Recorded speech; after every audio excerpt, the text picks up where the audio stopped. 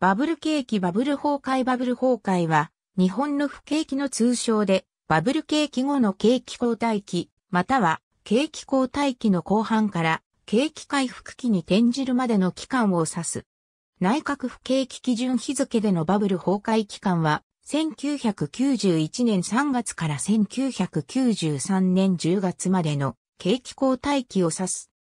1956年から2008年の日本の実質 GDP 成長率の水バブル崩壊という現象は単に景気循環における景気後退という面だけでなく、急激な信用収縮、土地や株の高値を維持してきた、投機意欲の急激な減退、そして政策の錯誤が絡んでいる。1980年代後半には地価は異常な伸びを見せた。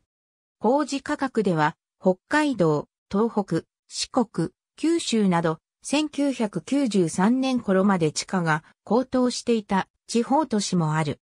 バブル経済時代に土地を担保に行われた融資は、地価の下落により、担保価値が融資額を下回る担保割れの状態に陥った。また、各事業会社の収益は、未曾有の不景気で大きく低下した。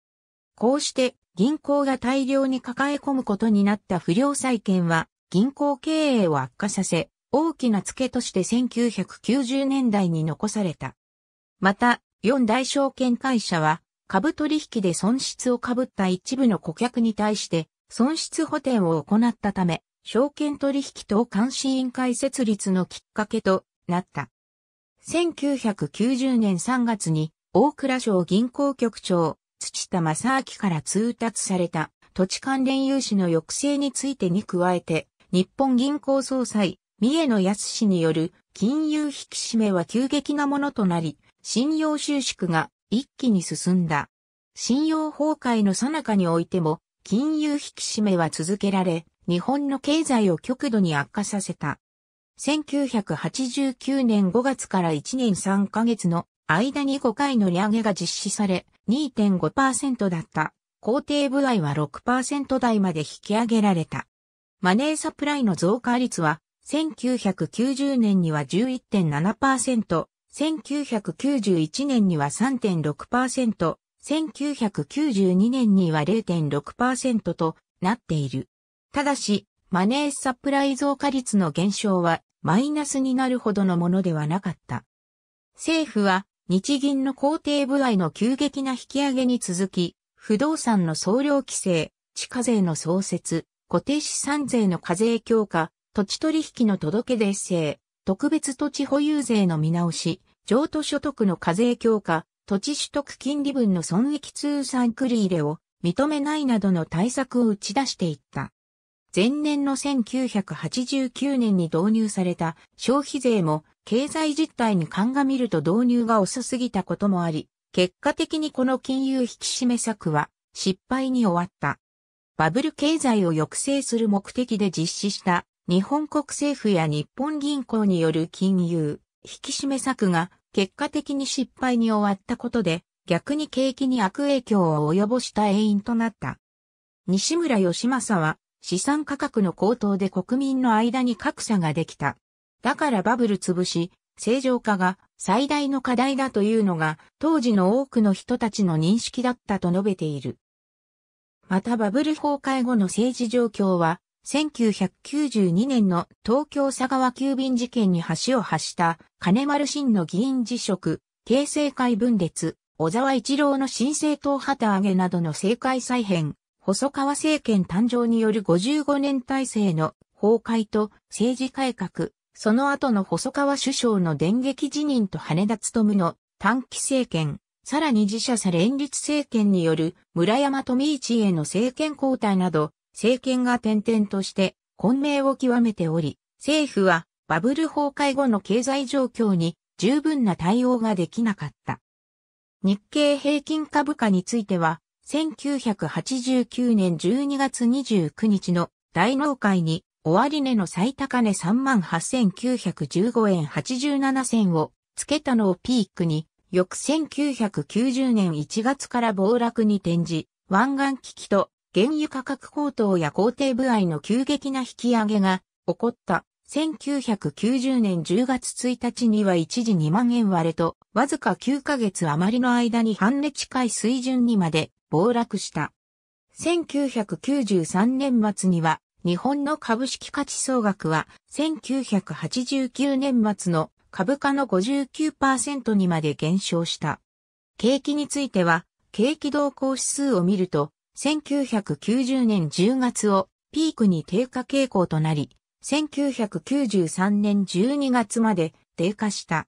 地価は1991年夏頃に路線価も1992年初頭をピークに下落していった。1992年春、エコノミストの高尾義和は日経公社再情報で、このままでは戦後最大の不況となると悲観的な経済見通しを公表。この見通しがきっかけで株価が急落した。1992年8月、東証に上場されていた株式の時価総額は1989年末の611兆円から269兆円と半分以下となっていた。本格的に全国の地価は1992年に入ってから下落し始め、1993年には全国商業地平均で前年比10%以上の値下がりを記録した。1999年以降の景気が急速に悪化し、企業の倒産や人員削減による失業、新規採用の抑制による過酷な就職難が発生し、本格的に実害を被った。1999年以降は社会全体の雇用者賃金の減少や、それ以前よりも、さらに非正規雇用社員が増加していった。それまでの工芸期は、株や土地への異常な投機熱によるもので、実態を伴わないもの、すなわちバブルであったことが明らかになり、振り返ってバブル景気と呼ばれるようになった。1980年代末期の日本での不動産バブルは価格上昇の原資は主に国内のマネーだけであった。大蔵省が行った総量規制で銀行の不動産向け融資が沈静化し、地価が大幅に下がり始めバブルが崩壊した。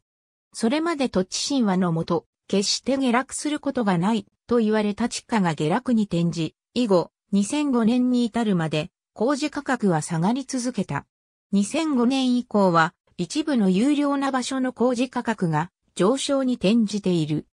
1998年末の時点で日本の不動産の価値は2797兆円に及び住宅、宅地の価値は1714兆円と不動産全体の約6割を占めていた。1998年末の土地資産総額はピーク比で794兆円。株式資産総額は同じくピーク比で574兆円。減少している。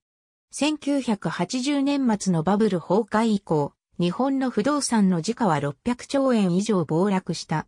日本全体の土地資産額は、1990から2002年で1000兆円減少した。バブル崩壊で日本の失われた資産は土地、株だけで約1400兆円とされている。内閣府の国民経済計算によると、日本の土地資産はバブル末期の1990年末の約2456兆円をピークに2006年末には約1228兆円となりおよそ16年間で約1228兆円の資産価値が失われたと推定されている。また、バブル崩壊直前に高値で住宅を購入し、以後の価格下落で浮き目を見る例も少なくない。資産価格が下落したにもかかわらず、固定資産税が高止まりしたままだったり、バブル崩壊後の低金利へローンを借り換えようとしても、担保割れで果たせないなどである。高値で買った同じマンションの別室がバブル崩壊後に破格地で売り出され、資産価値下落の保証を求める訴訟も起こされたが、大半は自己責任として保証を得られずに終わっている。経済学者の竹中平蔵は、バブル崩壊によって日本の地価が下がったが、これもグローバリゼーションの一環であると考えることができる。日本の地価が下がってきたことは、グローバリゼーションによって起きた制度の競争、要素価格均等化の命題の流れに沿っているという見方もできると指摘している。景気が後退し、地価、株価が下落するとともに、従前金融機関が多額の融資をしていた企業の業績も悪化し、返済が順調に行えない企業も現れた。返済に支障が予想される場合にはリスケジューリングを行ったり、実際に返済が滞った場合には不良債権に区分し直し、引き当て金を積み増す必要があるが、これは金融機関の会計を圧迫して経営上の自由を奪うと同時に、対外的にも信用を損ねるものとして嫌われ、査定に手心を加えて、正常債権とみなしたり、追い貸しをして、型の上だけでも本来の債務の返済を正常に行わせるなどして、引き当て金の積み増しを免れるとともに、自身の経営を健全に見せる、微方策がしばしば取られた。すぐに、景気は回復して損失も回復できると期待し、直ちに債権を処分して、損失を処理、確定することをためらわせたが、このまも、混迷の度合いは深まり、不良債権はその数と非対を増して重篤化した。一方で、外部、ことに、日本国外からは、金融機関が不良債権を隠していると移り、日本の金融システムに対する不信感が抱かれた。ことに、日本の会計基準が母価会計であることが、高値つかみした資産の劣化を隠す手段となり、不良債権隠蔽の温床になっていると指摘し、直ちに実家会計に移行して、不良債権をつまびらかにし、金融機関の経営状況を公開するように迫った。銀行への資本注入のための公的資金枠は、1999年12月には70兆円にまで積み増すことが決定された。2002年度の全国銀行の不良債権の処分による損失の累計額は81兆円5000億円に達した。不良債権処理に伴った銀行の損失累計額は1992から2002年度末で94兆円となった。全銀行の不良債権の純損失の総額は100兆円という規模となった。日本のバブル崩壊で発生した不良債権は約200兆円と言われている。2001年の日本工業銀行調査部によると、バブルの後始末としての不良債権処理は、1997年には終了していたとされている。田中秀臣は、バブル期の銀行の貸し出しの総額よりも、現在の不良債権処理額の方が上回っている。現在の不良債権は、バブルと無関係であり、その後のデフレーションによって発生したと指摘している。バブル崩壊後、損失補填、利益供与、巨額損失の隠蔽など、金融機関の不祥事が相次いで発覚した。政府は当初、大手金融機関は破綻させないという方針をとっていたが、1995年頃より市場から退場すべき企業は退場させるという方針に転じ、不良債権の査定を厳しくして経営状態の悪い金融機関も破綻、再生する処理にかかった。この流れで1995年8月に、兵庫銀行が銀行としては戦後初の経営破綻となり、以降、金融機関の破綻が相次いだ。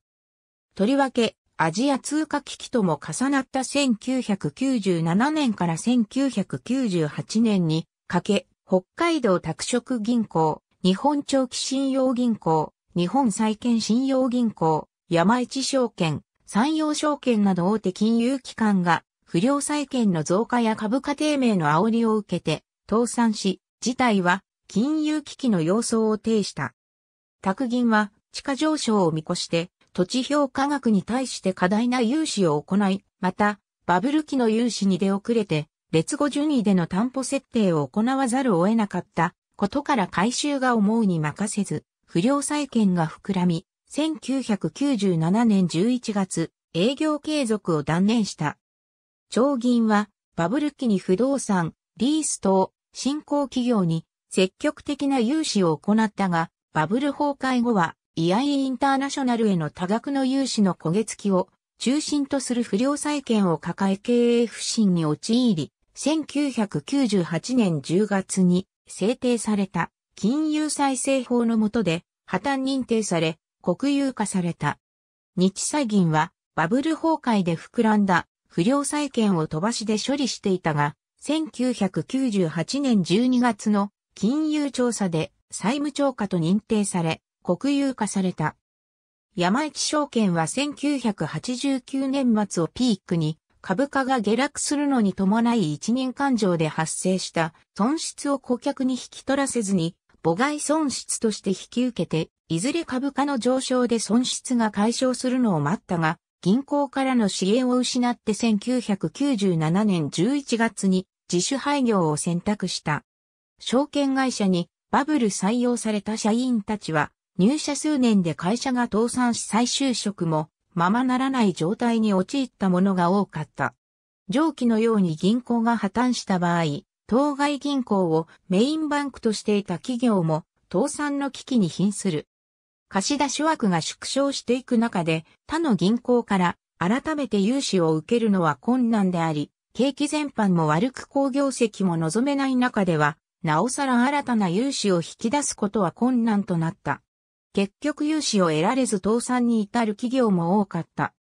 日本長期信用銀行を再生する過程で、同銀行を買収した投資組合は、取引のあった企業を破綻に追い込んで、積極的に貸し担保条項を活用して、利益を確保する行為に出た。その結果、ライフ、そごう、第一ホテル等が破綻し、暴挙との批判を浴びた。個人向け融資機能の弱かった金融機関が住宅資金需要に応えて設立した住宅金融専門会社であるが、バブル期前後には金融機関自身が住宅ローン市場に参入し、重線は本来のターゲットである住宅ローン以外の不動産事業に傾斜した。有料な債券を銀行等が占有したため、重線はリスクの大きい物件に傾斜せざるを得なかったとの指摘もある。バブル崩壊後は融資先が破綻するケースに加え、担保としていた土地も値下がりして、融資の回収が見込めない不良債権が増加し、重戦7社のうち6社は破綻した。破綻に際しては、重戦に多額の資金を融資していた農林系金融機関や銀行を保護するために公的資金が注入された。一方、案件として小粒であり、従来は銀行から重視されていなかった個人相手の住宅ローンがバブル崩壊後の不況期の中ではリスクが低いことから注目を浴び、それに注力する銀行も現れた。バブル崩壊に伴う事業の縮小、経営不振に加えて、プロジェクトにかかる代金支払いの保証をしていたことから、一気に負債額が増加し、経営悪化が表面化したゼネコンが多数あった。ゼネコンの破綻は雇用不安につながり、社会の不利益となるので公的資金を投入して救済すべきとする意見が出る一方で、従前の経営の難点を指摘して、市場から退場すべき企業は退場させるべしとする論調も声高になされた。また下請けの会社がゼネコンから仕事を受注するに際して、従前は約束手形払いで会社信用を前提にした決済を行っていたものを現金払いで決済するよう要求することもあった。1988年に公表された BIS 規制は日本では移行措置の後、平成4年度から本格適用されることになっていた。この規制の適用に際して、金融機関はそれまで大きく広げていた貸し出し枠を自己資本比率を満たす、要縮小する必要に迫られた。さらに、株価の低迷が追い打ちをかけた。安定株主の形成にも役立つことから、日本の銀行が取引のある会社の株を持つことが普通に行われていた。ところが、BIS 規制では、所有する株も自己資本として参入されることから、バブル崩壊後の株価低迷で所有する資産が目減りし、それだけ貸し出し枠も縮小した。なお、国際業務を行う金融機関の自己資本比率の基準として8%が示されたが、BIS そのものでは国内業務に限った場合などの個別の規定を設けておらず、日本では国内の業務に限る金融機関は4%で良いとした。経営状況を勘案して海外から撤退して業務を国内に限る法銀もあった。金融機関が経営に問題がない企業に対しても貸し出しに慎重になり、新たな融資を断ることを貸ししぶり。既存の融資を引き上げたりすることを貸し剥がしという。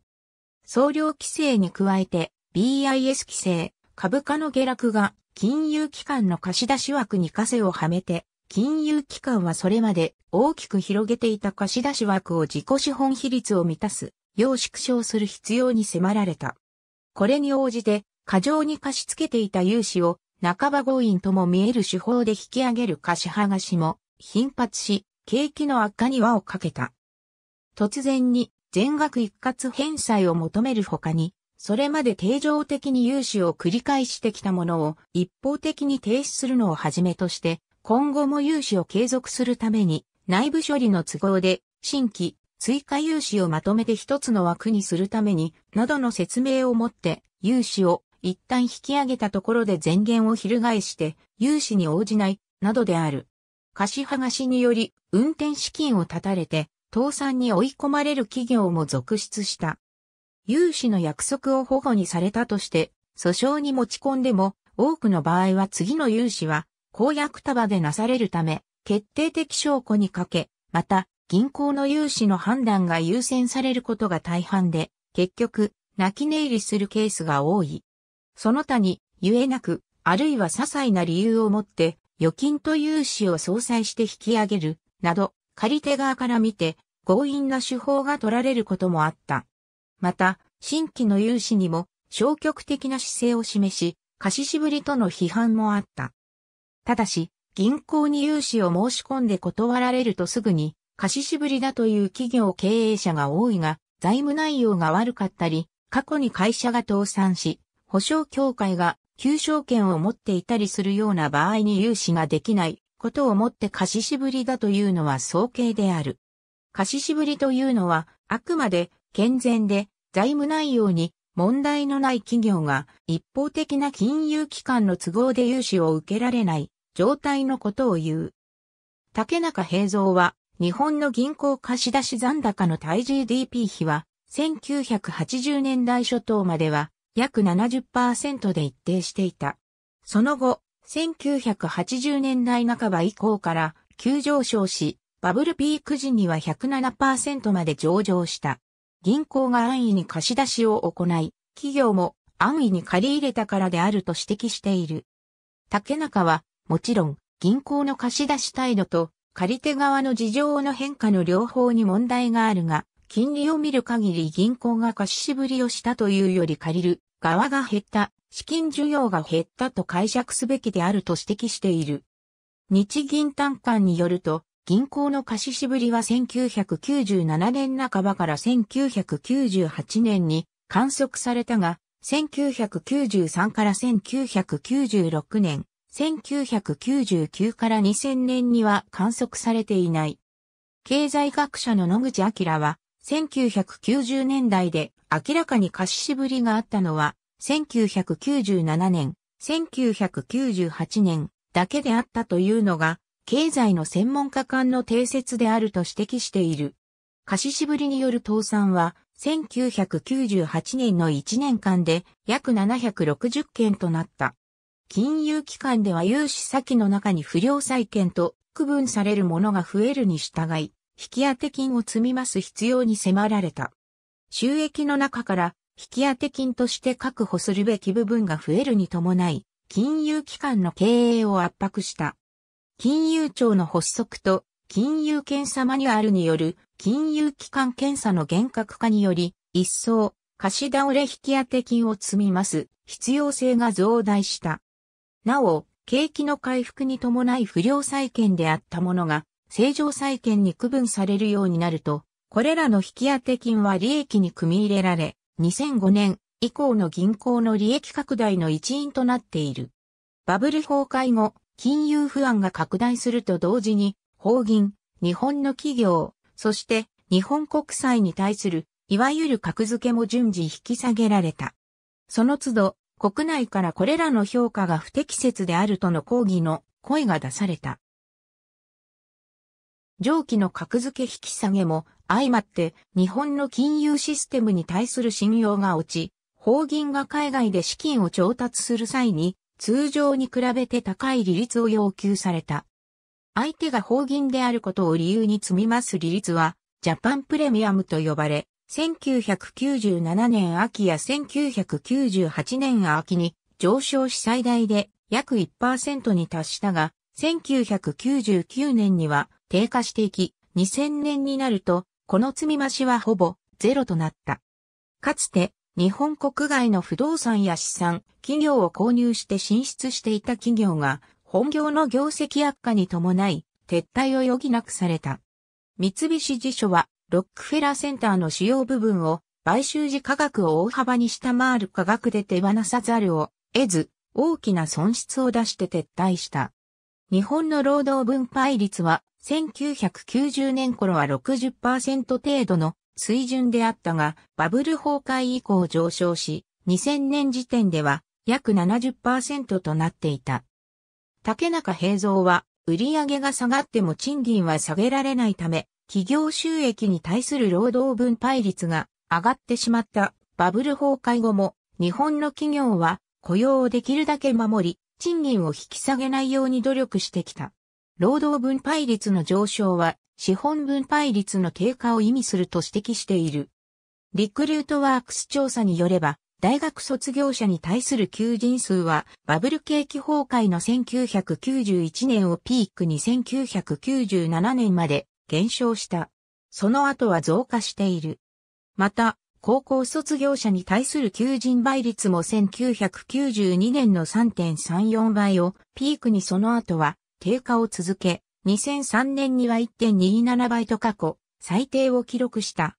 要因の一つは終身雇用が重視されていた当時の風潮の下では在籍している社員を解雇するのが困難だったために過剰人員を削減する手段を新規採用の抑制に求めたこと。さらに大きな要因は1991年大晦日にソビエト連邦が消滅したことである。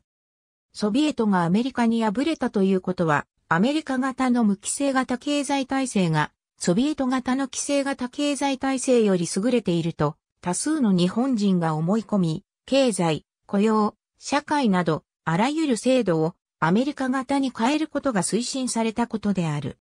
1991年から1992年は人口が多い1970年代前半生まれが就職する時期、1970年代後半生まれが小学6年生から高校生、1980年代前半生まれが小学生であった。このために競争が激化し、雇用のアメリカ化が推進されたために、就職が極めて困難になった。俗に言う就職氷河期の到来である。就職できなかった多くの若者は、フリーーターやニートとなり、就職氷河期世代と呼ばれ、彼らの生活、雇用の不安定さ、社会保障の負担が十分できずにセーフティーネットから外れ困窮する状態に陥るなど大きな社会問題となっている。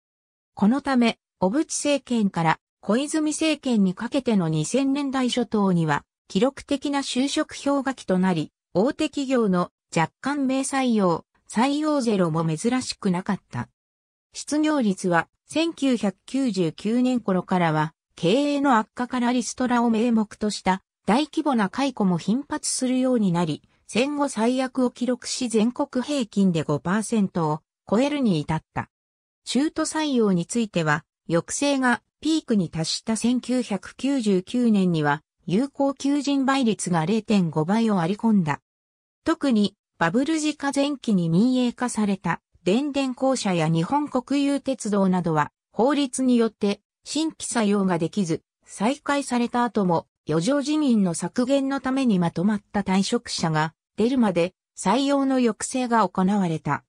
その結果、採用を抑えられた時期に入社した世代とその上の世代では、社員の数に極端な差が生じることになり、各社の社員の年齢構成は、歪な状況となった。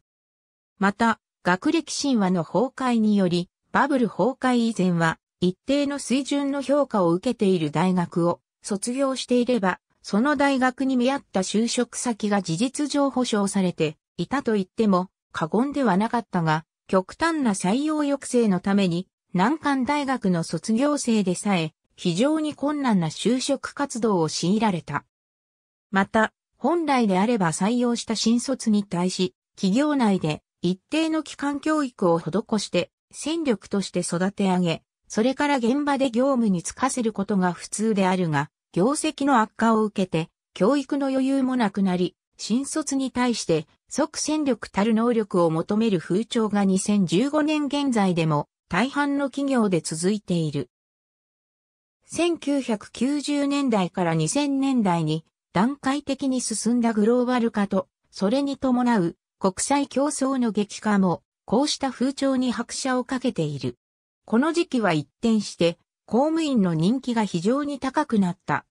民間企業の倒産やリストラが相次ぎ新規採用が絞られる中、景気の動向に左右されにくいという公務員の特徴がバブル期とは全く逆の捉えられ方をされ、その堅実性から公務員を希望する学生が増加した。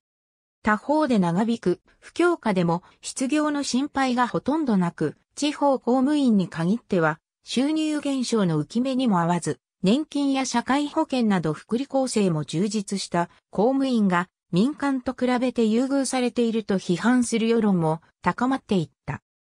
堅実な公務員職を希望する学生が増加する一方で不況に伴う税収減少を受けた財政難や公務員改革に伴う人員削減の影響で地方公共団体は新規採用を縮小したため公務員は非常に狭き門と化した。あまりの就職難のために大卒者がその学歴を隠し、高卒の採用枠で公務員に採用された例もあり、2000年代半ば以降神戸市や大阪市、さらには横浜市などで次々と同様の行為が発覚して問題となっている。2003年頃からようやく景気が回復基調に転じた頃、企業を長らく支えてきた段階の世代の一斉退職が目前に迫っていた。本来であれば中堅社員や若手社員が段階の世代の持つ経験や技術を受け継ぐ立場にあったが、長期にわたる採用抑制のために、多くの企業で20から30代半ばの社員が極端に少なく、人員の年代構成が歪んでいるため継承が円滑に行われる状況になかった。このため企業は急いで人員の確保に走り、2005年度には新卒の求人総数はバブル景気期と同程度にまで回復し、2006年度から2008年度の新卒大学生の求人状況はバブル景気時以上と言われるほどの水準に達した。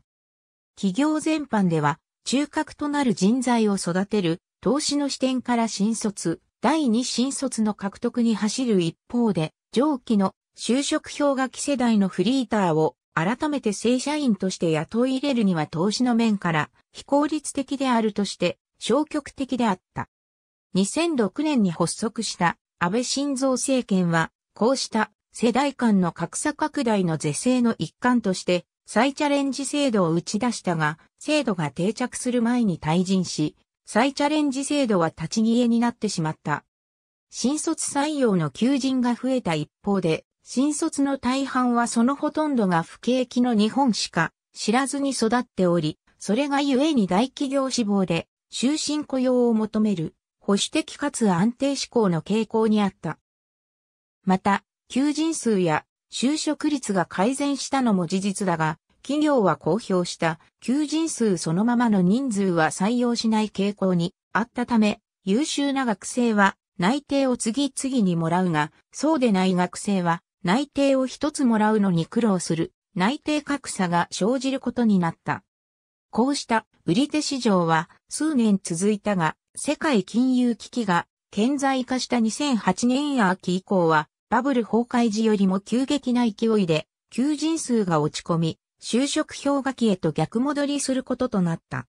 規制緩和の一環として、不況下の経費削減、ことに固定費削減のため企業の業務を担う人員や、業務そのものを企業本体から切り離し、外部から調達する方法も取られるようになった。一方で、これらの供給を行う業務請負会社、人材派遣会社も成立し、業績を伸ばしてきた。バブル崩壊後の就職氷河期に曲がりなりにも雇用が確保されたのは、これら非正規雇用による賃金切り下げの効果なのは疑いがない。しかし、2007年現在、その総数は全就業者の一産を占めるまで増加し、バブル景気以上と言われるまでに企業が利益を出しても、非正規雇用者の待遇は変わっていない。利益を上げても、競争力の確保を、名目、大義名分として、人材、設備への投資を極力行わず、株主への配当もせず、結果として内部留保がひたすらに積み上げられていく企業さえ見られる。何歳になっても、また何年勤めてもいつ解雇されるかわからないため、子供を作るどころか結婚さえするわけにいかない、非正規雇用の若者が増加し、少子化が加速した。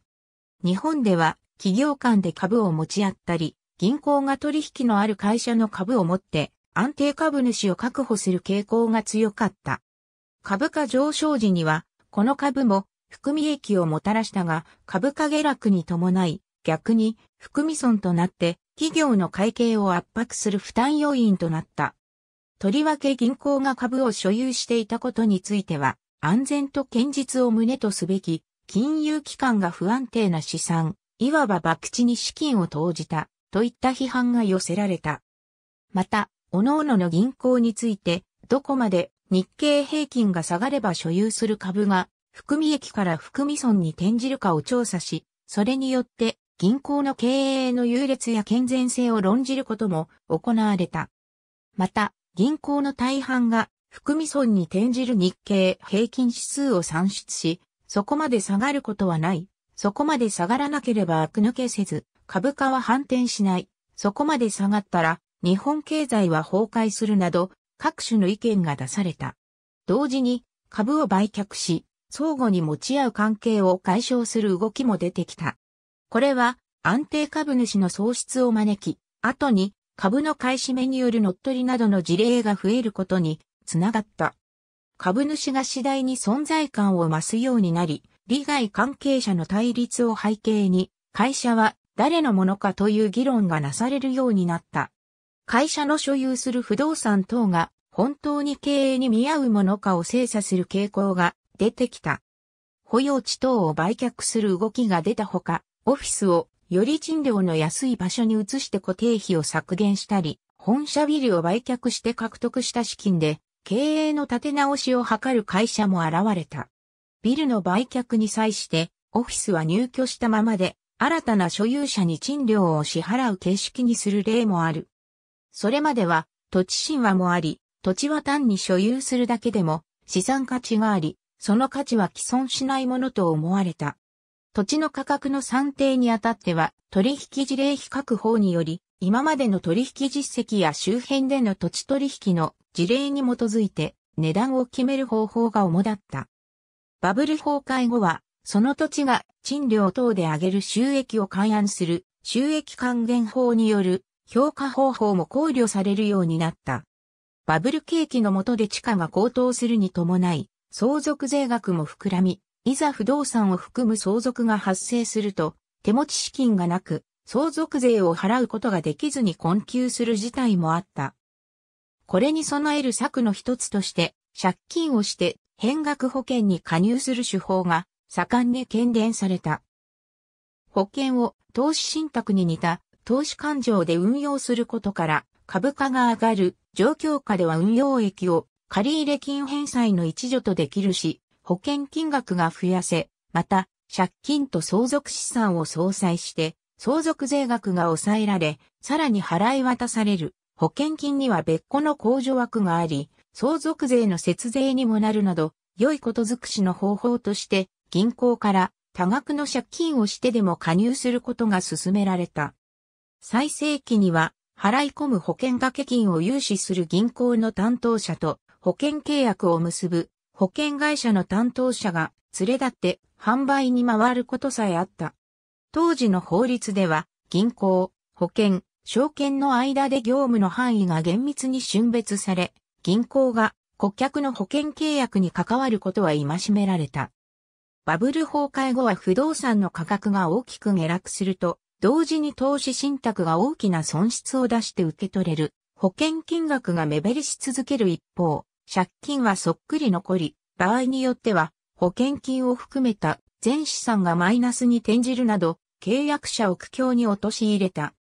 満期時の返礼金額が元本を大きく下回り、手数料もかかることから解約にも踏み切れず、株価が下がるにつれて、みるみる保険金額が減っていくのを目の当たりにして、私が早く死んだ方が良いということかと問う。被保険者に担当者がその通りですと答えた事例も伝えられる。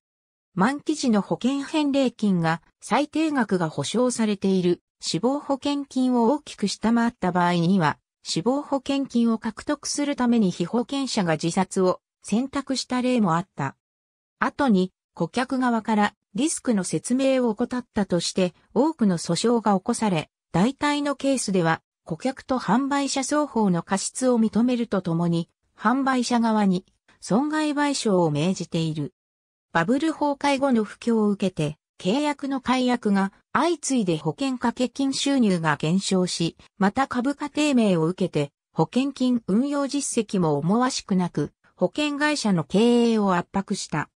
バブル期には貯蓄性の高い年金商品を中心に高い予定利率を約束した商品が販売されていたが、資金運用の実績が予定利率を下回る逆座や状態に陥った。一部の保険会社は最終的に破綻に至り、その顧客の契約型会社に引き継がれる際には、保険金額の削減や予定利率の低減が行われた。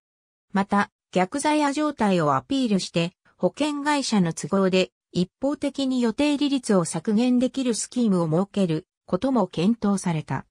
2005年頃からは保険会社による保険金不払い事件や保険料過徴収問題なども表面化することになった。経済専門のクラウドソースコンテンツ、シーキングアルファは、日本の低迷の使用因は、バブル崩壊であり、政府、銀行の対応の遅さが、デフレーションにつながったと指摘している。経済学者の野口明、田中秀臣は、日本の長期停滞の真の原因は、バブル崩壊後の資産デフレを起因としたマクロ的な総供給に対する総需要の向上的な不足であると指摘している。景気対策として日本銀行は工程部合を引き下げ、政府も度重なる財政出動を行ったが効果はなかった。1991年度版、1992年度版の経済白書は株価、地価の暴落が景気に及ぼす効果は小さいと分析していた。1992年に来日したアラン・グリーンスパン FRB 議長は資産価格の変動は金融システムに大きな影響をもたらす。対策は早い方がいいと述べていた。ミルトン・フリードマンは日銀は急ブレーキをかけすぎた。金利を引き上げ、通貨供給量の伸びを急激に抑え、深刻な景気後退を引き起こしてしまった。日銀は誤りを正すのが遅くて、リセッションを長引かせ深刻なものにさせてしまったと指摘している。高尾義和は資産価格の上下の状況変化を読めず、政策が皇室に回ったと指摘している。